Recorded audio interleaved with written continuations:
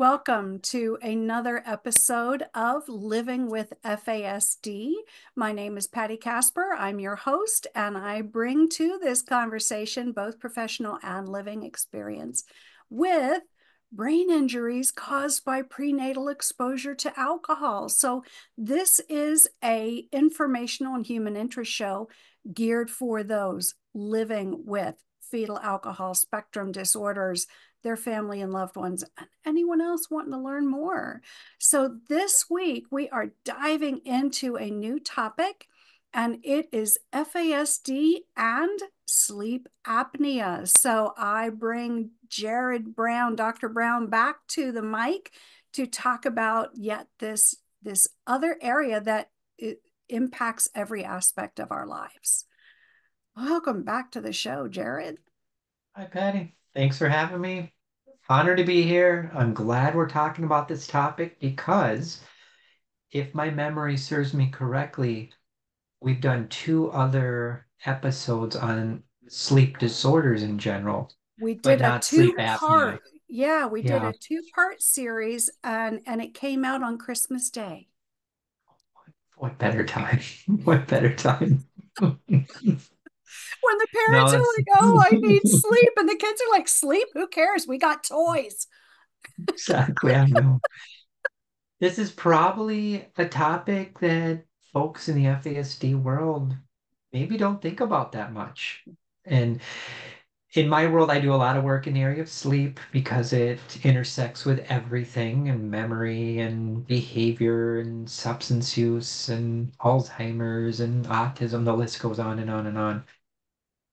But there is actually research in the FASD literature that does talk about sleep disordered breathing, sleep apnea, and snoring. Not a lot, but there are sprinkles of it out there. So it is something to be aware of. We know, we, I'm sure if you're listening to this, you know someone who's impacted by sleep apnea or snoring. We all do. I? I have a million I, family I've never heard friends. myself snore. I don't do that. I have sleep apnea. People are surprised to learn that. It's I do too, actually. Yeah. very, very common. And I only found out because I went to my dentist and she said, Did you suck your thumb as a kid? The way the teeth formed in my mouth around my thumb sucking caused me not to get as much oxygen in. So, so just something to think about. We'll, we'll talk about a lot of things today. But when you think of, Patti, when you think of sleep apnea, like everything, it's on a spectrum. Mm-hmm. And sometimes it's referred to as the spectrum of sleep disordered breathing. So, on one side of the spectrum, you have snoring.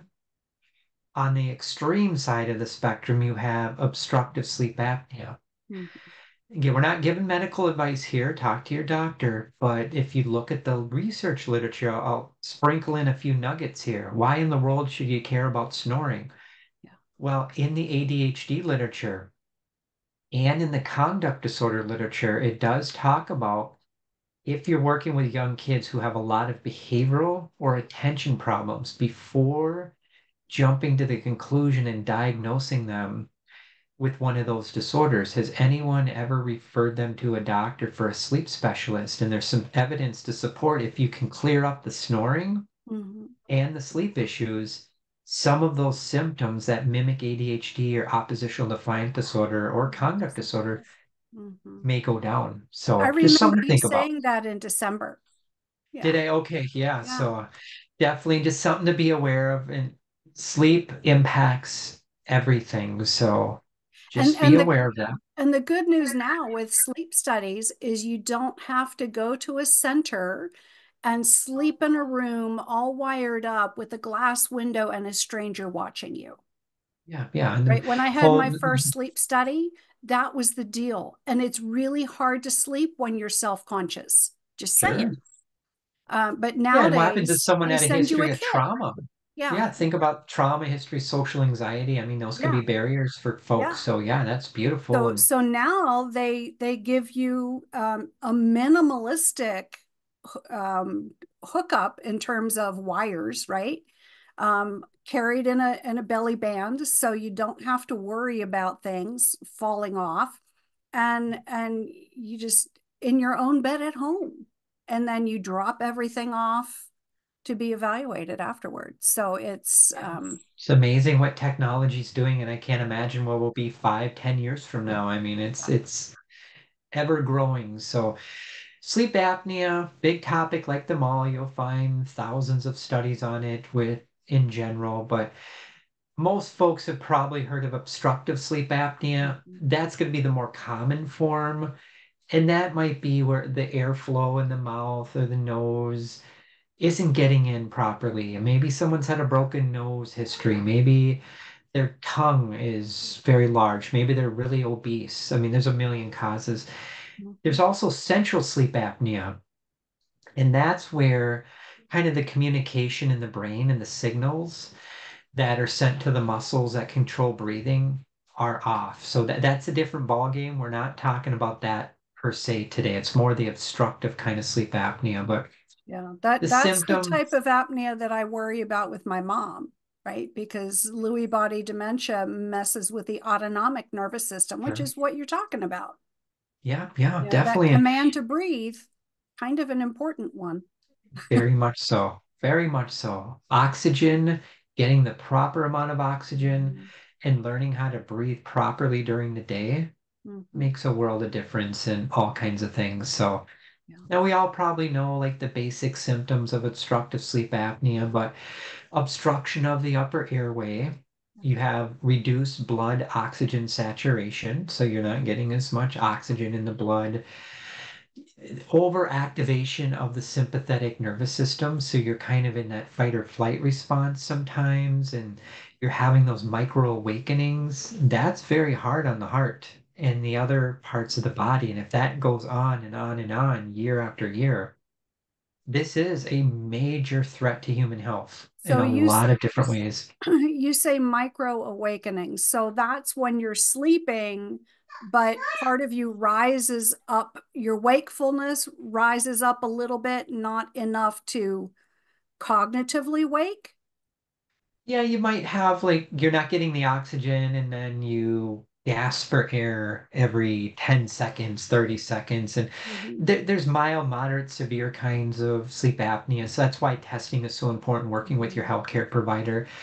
Research shows too that people with untreated sleep apnea don't get into REM sleep as much. So you're not getting as much restorative sleep, even though maybe you're in bed eight or nine hours.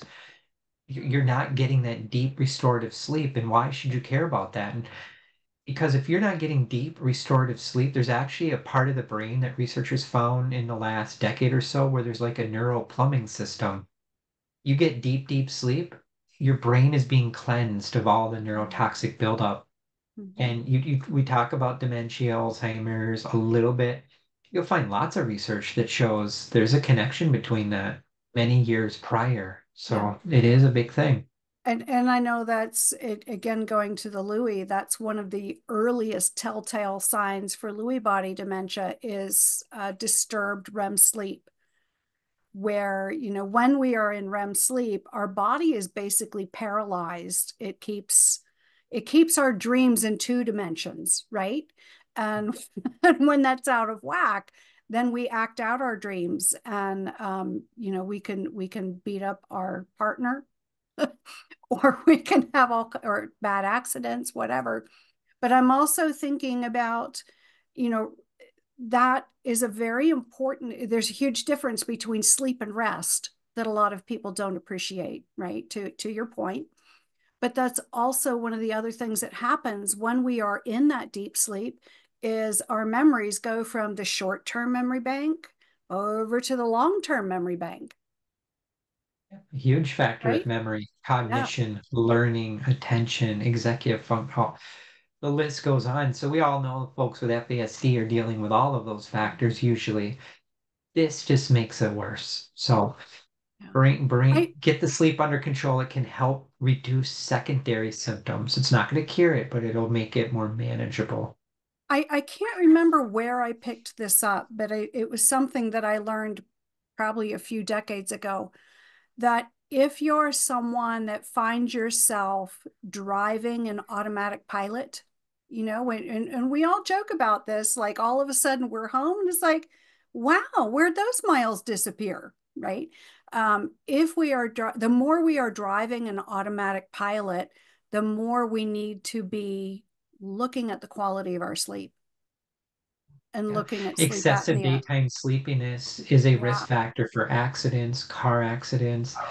You look at some of the major catastrophes mm-hmm. in our country's history. I'm not going to name them, but there's a few of them that they directly linked to sleep issues, not necessarily sleep apnea, but just chronic sleep deprivation, where we are not thinking as clearly. We have reduced error awareness. I mean, we're just more clumsy and big, big thing. And sleep apnea causes lots of issues during the day with fatigue. I mean, that's a, a, symptom, of course, and a lot of other symptoms to take into account as well. So, yeah. when I give talks on uh, sleep issues, especially like sleep apnea, sometimes a question always comes up what are the causes for this? What are the contributing factors for obstructive sleep apnea? And it's different for everyone. That's another reason why you want to consult with your medical doctor who's an expert in this area. But a narrow throat is a factor in some cases. Mm-hmm. Thyroid issues, hypothyroidism has been talked about as a potential contributing factor. Allergies, getting allergies treated can be very helpful. Having a deviated septum, so if you played sports or have ever been in an accident or gotten into fights and broke your nose here and there, that could be a factor as well. Mm-hmm. Smoking cigarettes, we know that that's not good for health, of course. Alcohol and drug use are contributing factors. The weight of someone, excessive weight gain, can be a factor. Being male, you're at greater risk. Being older, you're at greater risk. Having a family history, you're at greater risk. If you're taking certain kinds of medications, talk to your doctor again, certain kinds of medications like sedatives, things like that, could actually impact the muscles and, and, and be a factor. But again, talk to your doctor. If you have a lot of nasal congestion, besides like allergies, I mean, there's a million reasons for that. Could it be food sensitivities? Could you be living in a home where there's mold? Yeah. Or there's a lot of mildew or just the temperature, it's really musky. There's a lot of things we can do to probably improve this, but going through the healthcare provider first, getting a proper diagnosis, and then finding out what the best treatment options are. And there's a lot of treatment options out there. We know that like the CPAP is the gold standard, but there's there's all kinds of other ones out there. We'll talk about some interventions as well. So yeah, there's there's a lot of people that really and and I know with CPAP there's a couple different mechanisms. There's the full face mask, and then there's also just the cannula or the the smaller nose version yeah. of it yeah. Um, but a lot of people who have um, sensitivities, yeah. right? The sensory mm-hmm. issues. Um, Absolutely. Um, don't do well with either one of those no. mechanical mechanisms. So, how much do you know about some of these other more modern um, interventions? Can we talk about interventions at the end? There's a few more foundational things sure. I want to just lay down, just so we we know the bad stuff first, then what what do we do about it? Yeah. Symptoms of sleep obstructive sleep apnea again all over the map and waking up with a headache in the morning, being apathetic, fatigue, just having like dry mouth or having an unusual taste in your mouth. You'll hear that sometimes as well. I mean, there's many, many more as well. But when we think about this, think of sleep fragmentation, think of just daytime fatigue, even anhedonia. This increases the risk of anxiety, depression, mood related problems. The list goes on. And a lot of times when people have obstructive sleep apnea, they're going to have insomnia as well. And insomnia is a full other kind of disorder or a symptom, but sleep apnea and insomnia share a lot of traits as well. Frequent awakenings, mm-hmm. having a hard time falling asleep, your excessive daytime sleepiness, and it can contribute to a lot of social dysfunction and occupational dysfunction. People with these issues are much more likely to call in sick to work, have difficulty accomplishing their school goals. They're more prone to accidents, and it can absolutely decrease their quality of life. So, a lot of times when people have these kinds of issues, it's not just one thing going on. It could be a multitude of factors. And again, maybe it's behavioral, maybe it's structural, maybe it's environmental. It's probably the combination. And what we eat as well plays a lot to do with this kind of stuff. So, Jerrod, what is the connection between sleep apnea and fetal alcohol spectrum disorders? Not a lot of literature out there, but there there's a few studies again, and if you want, I can definitely send you some links you could share with your audience. Mm-hmm. But we know that the overwhelming majority of people with fetal alcohol spectrum disorder have sleep issues in general, the research shows. Mm-hmm. Problems falling asleep are reported to be much higher. More nighttime awakenings, nightmares are more common. You may see as a parent your child with FASD has a lot of bedtime resistance. Mm. Could be a lot of reasons for that. Maybe you're an adoptive parent, and unfortunately, maybe that child came out of foster care or a lot of horrific trauma. So, night anxiety and then parasomnias have been known to be higher in people with FASD. So, parasomnia could, being could, could be sleep talking, night terrors, bedwetting. Parasomnias are a type of sleep disorder that happen right as someone's going to bed, during sleep, or right when they wake up. And there's a lot of different parasomnias out there.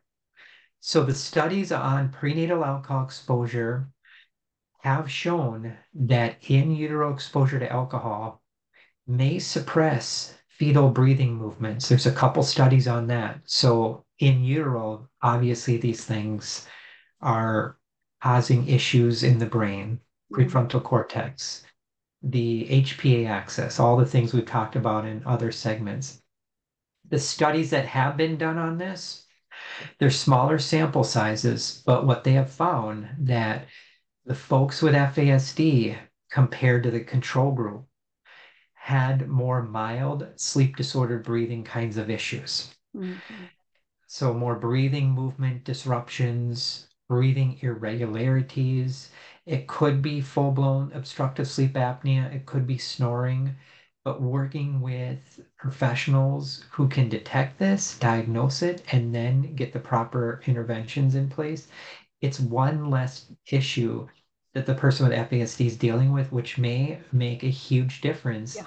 Yeah, in bringing sure. down some behavioral problems and secondary issues and yeah. even the impact this has on executive function. If someone is not sleeping well, they're not getting proper oxygen, they're not breathing properly, and they already have underlying executive function impairments. Again, it's just pouring fuel on the fire. It just yeah. grows it. So I, I one thing we know is that our sleep wake cycle is formed in the womb before we're born. Is, could that be one of the mechanisms by which prenatal exposure to alcohol sets us up? when you study that topic, you will want to be aware of a few terms. You want to be aware of circadian rhythm misalignment mm-hmm. and the SCN, the suprachiasmatic nucleus. I hope I'm not butchering that. That's kind of the central command center of our circadian rhythms. And the FASD literature does talk about prenatal alcohol exposure can impact that part of the brain.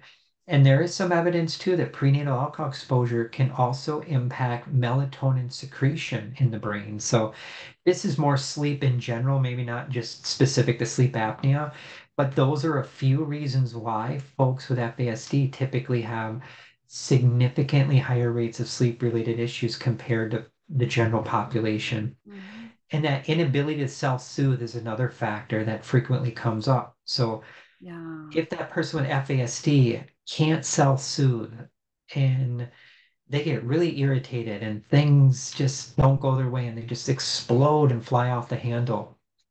What better way to disrupt your sleep than to be dealing with high levels of anger and irritability? Mm-hmm. Learning self soothing skills is a frontline intervention. There's a lot of other ones, but that would be very helpful as well. Yeah. I can give you tips and strategies now if you want. Please do. Some of these are not FASD specific, it's more in general. Yeah. Because here's a call to action to researchers, students. What interventions would be most effective for someone with FASD who has sleep disordered breathing? Does the general literature apply to folks with FASD with all the comorbidities? I don't know. Mm-hmm. But in the insomnia literature, there's a really nice model that you might want to write down if you're interested in just different things to be aware of that can contribute to insomnia. The three key model of insomnia, that would be something you'd want to look into. There's a Dr. Spielman who developed this model, and it's broken down into predisposing factors, precipitating factors, and perpetuating factors that are just making this grow. So if you can understand that model, that would be something you want to look at. Mm-hmm. If you're a clinician and you, you have the proper credentials, there's actually several screening tools in the research literature for obstructive sleep apnea. The Berlin questionnaire is one, the Stop Bang questionnaire is another, and the OSA 50 questionnaire is another. Screening tools are not diagnostic. Like you can't give a screening tool and say this person has sleep apnea. But the screening tool opens the door to conversation and maybe referrals to the healthcare provider mm-hmm. to dig deeper and deeper in, into these and, kind of things and could definitely be helpful in getting insurance to pay for testing. That let's hope. Yeah, let's hope so. So so when we think of like starting to target this from maybe an FASD lens or a neurodevelopmental disorder lens, a couple things to ask yourself. How is this if the person does have sleep apnea and you know they have it, they've been diagnosed, how is this impacting their mood and behavior? what has happened after the diagnosis and before? If you're getting treated, are you noticing a decrease? Mm-hmm. Cognitive deficits, obviously, frontline kind of deficit in folks with FASD. Are you noticing any changes since the client has gotten diagnosed with sleep apnea and they're starting to re- receive treatment? Are you noticing that they're retaining just a little bit more information? do they seem to not get as dysregulated as much? Just some things to be on the lookout for. Mm-hmm. Irritability and undiagnosed sleep apnea go hand in hand. Be on the lookout for that. And when we think about treatment in general, if you look at the general medical literature, there's we talked about the CPAP machine kind of gold standard, but again, there's a lot of people I know that have the CPAP. They use it one time and they just they never use it again. Yeah. yeah. There's oral appliance therapy. You can look into that with your doctor. Sometimes dentist will look into that. That that's so something. Is that something that keeps your jaws aligned in such a way to maximize airflow? Is is that? Yeah, I'm not an expert in that, but I know like some dentists specialize in that, and they can like measure the inside of your mouth and then they can develop it, whatever company they go with can develop the oral appliance specific to the way your jaw lines. And I've heard wonderful things about it. I've heard difficult things about it. Like all these things, not, none of it is going to be perfect for each one, but right.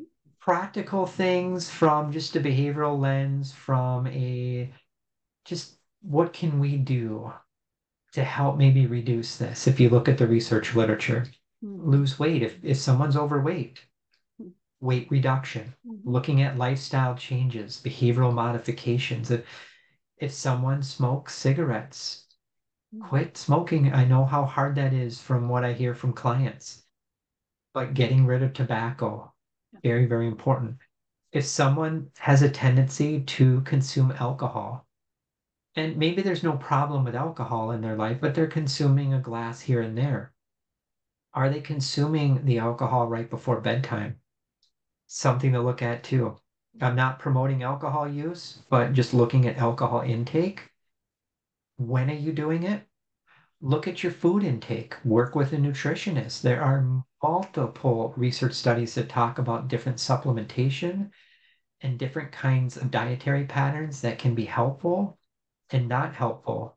Unhelpful dietary patterns we've talked about briefly if you're one to eat a lot of fast food, you microwave your food all the time. It comes in a package and there's a million ingredients in there you don't know how to pronounce. that's probably not good for your body, which then triggers inflammation. So, looking at this through an infl- inflammation reduction lens, very helpful. Mediterranean diet's been talked about, plant-based foods, but again, I'm not. Don't take this and run with it. Everyone is wired differently. Yeah. We had a segment, Patti, too, I believe, on the gut and the gut-brain axis obstructive sleep apnea, undiagnosed, untreated, has been linked to more gut dysbiosis, so gut problems. So that's another huge can of worms to be aware of. That's a very interesting link. It, it makes sense because if you're not getting restorative sleep, your inflammation's higher, your hormones are off, mm-hmm. and maybe you're stress eating during the day and you're so fatigued. What do a lot of people do who are just so tired? Energy drinks, tons of caffeine, sugar. lots of sugar the list goes on and on and on. We've all heard of sleep hygiene practice. Instead of better. Yeah, it does. Absolutely. So I, I think definitely what you do when you wake up and what you put into your body through the day impacts the sleep the next night without a doubt. So do you want me to go into sleep hygiene practices a little bit? Sure. I know we talked about that some in the other one, but sure. When you think of sleep hygiene again, anything we can do to optimize our sleep health our thinking, our bedroom, look around your bedroom, what's going on in your bedroom that may be good for sleep or bad for sleep. What kind of movement do you get through the day? Are you one to live a sedentary lifestyle, or do you try to get out for some walks or do yoga or lift weights? Again, talk to an exercise specialist before doing anything like that. What are your behaviors about sleep? Again, maybe there's a trauma history and you have a deep fear of the bedroom mm-hmm. or the dark and for children coming out of foster care, there's a whole line of literature that talks about just being aware of nighttime anxiety around sleep and being aware too smoking habits, yeah. caffeine intake, sugar intake, technology use habits, yeah. drinking habits. Not just, I'm not talking alcohol too, but are you one to pound down the water right before bed and then you're waking up two, three times a night having to go to the bathroom? those are a few things to consider. And then one thing we didn't really talk about today too, that is an issue that comes up a lot when I consult on cases is is pain. Mm-hmm. Is the mm-hmm. person dealing with any pain issues? Could be joint pain, arthritis. Yeah. Maybe it's a history of traumatic brain injury and migraine headaches, things like that. So I, those are I a know lot for, of. For me, that's the falling asleep is the difficult piece. Yeah because I've I have several chronic pain conditions. Um, one is from arthritis, um, another is degenerative disc disease in my back. Um, third is diabetic uh, neuropathy. Um, when that gets triggered, my limbs feel like they're on fire from the inside out.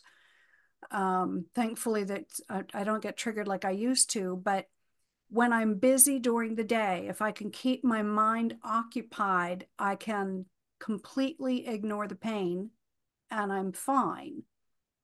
And I've long said that sleep is the best narcotic. The hard part is the falling asleep piece in the middle. yeah, it, it really is. And there's because not a magic. That's when it's like all those nerves mm. are saying, hello, we're here. Nothing's changed. We hurt right? And and the mind if we busy our mind to ignore it then we put off falling asleep. What you're saying patti reminds me of that first episode we did together. I would encourage folks to go back and listen to it. it is on psychoneuroimmunology. Mm-hmm. it's the connection between our thinking our body. It's kind of a mind body spectrum field where our thinking impacts our mood, our mood impacts our thinking, our mood impacts our eating habits, our exercise. It's all interconnected. And at the core of that, it really talks about getting your inflammation down in the body, which can be very helpful for all kinds of things, including pain management, mm-hmm. depression management. The list goes on and on. So that field of study encourage you if you want to learn more about the interconnectedness between our thinking and bodies check that out psychoneuroimmunology yeah and i think that was from i want to say the end of summer last year your memory's better than mine i i Don't know. well, I started in June, so it had to have been sometime probably in July, July or August. Okay. Yeah. And are there any other areas you want me to like, share with the folks just from sleep apnea lens that could be helpful? Um, I I think that's I think that's pretty good. So I know when I post these on YouTube, um, there's a way for me to tag a few prior episodes. So I will I will tag the neuro the psychoneuroimmunology one, and then the first of the two sleep ones. Um, with the caveat for folks that listen to the one that came out on Christmas Day, part two was the same day. So just watch the very next one when you're done with it. Um, and then that'll that'll get all three of those episodes. Patti, I'll just leave folks with this that this is my opinion. Sleep is medicine. And we all know how we feel if we miss a night of sleep oh. or two or three. I mean, I can't imagine yeah. being up for three nights in a row. I've never had that happen, but yeah. And the it older doesn't we matter. Get, the harder it is to recover yeah, it takes longer and longer. And, you know, it doesn't matter the diagnosis. If it's FASD, if it's depression, if it's just conflict you're having, a better night's sleep mm. helps. It's not going to cure FASD. I'm not saying that. Yeah. But it's going to make it more manageable. Yeah. Those secondary symptoms will hopefully be more manageable. The person will be in a better state instead of them getting irritated really quickly or flying off the handle maybe it buys you a little more time to redirect yeah. the person and it lengthens that fuse yes absolutely yeah. that's a great analogy and look at this as part of a comprehensive intervention approach to helping folks with FASD. And in an ideal world, my opinion, you know, having your case manager, your therapist, your psychiatrist, all those good folks, but having a sleep specialist part of it, having a nutritionist, having an exercise specialist, mm-hmm. makes it more holistic. And I think it can lead to better outcomes. I really do. Yeah. Oh, Jerrod, thank you for raising this topic. Um, Welcome. Yeah, you you always bring us good things to talk about. I know we're going to be talking in the future. I think you and I chatted one on uh, migraines. There's actually a little literature on FASD and migraines, and then I think we're doing the next one. we discussed on false confessions. So we're taking a detour yes. back into the forensic criminal justice realm, where that's where my most of my experience is. Mm-hmm. But yeah, there it's so important. There's many moving parts with FASD, and the more we can understand these moving parts, I think we'll be able to put together the complex puzzle right. that can help the person thrive. Right. All right. So you mentioned alcohol use and so that was a, a really good segue into my sponsor. Um, Living with FASD podcast is now sponsored in part by Curious Elixirs, because uh, a lot of us affected by FASD would rather enjoy booze free beverages. And Curious Elixirs was voted the number one uh, best non alcoholic drink four years in a row by the New York Times. Um, and of course, everybody's preferences are different. Some like the, the super sugary beverages and, and others less so. Um, but Curious Elixirs are infused with organic plant based adaptogens or mood boosters that benefit your body. They're booze free craft cocktails that are bold, fun, refreshing with no artificial or synthetic flavors. Um, they, if there is a sweeter cocktail, I haven't found it yet. Um, and I, I was more of a, a sweet cocktail kind of girl. Um, but the adaptogens are going to meet your needs, whether it's a weeknight or a weekend, without the harmful or toxic effects of alcohol. And they even come with recommendations for garnishes. Who knew? So, if you are on a journey away from alcohol or um, merely searching for a sophisticated alternative to tea or carbonated beverages, and of course, Jerrod, we're going to agree carbonated beverages Yeah, there there no nutritious value whatsoever. Um, but if you're on a search for an alternative beverage, then use the affiliate link in the show notes, and that will benefit the Living with FASD podcast. So um, now that that uh, little announcement is made, if you if folks watching or listening want to join the community, hop on over to patreon.com slash living with FASD podcast. And of course, you can join the community for free, just like the podcast itself will always be free. But there is also a paid membership level at either the five, ten, or $15 a month level. Um, and even $15 a, a month is cheaper than the price of one weekly cup of coffee. Um, but all those monies come and help me pay for the programs that I use to bring you this good content week after week after week. So any support is appreciated. I want to thank everybody for their time, whether you're taking us along with you on a bike ride or a car drive, or whether you're just chilling at home or keep letting us keep you company as you clean the house, whatever it is that you're doing. Thank you for taking the time to listen to Living with FASD. And I hope you have a fantastic week. And we'll see you next Monday for another episode of Living with FASD. Jerrod, my friend, thank you again. Thank you, Patti. Thank you, everyone. Bye, everyone.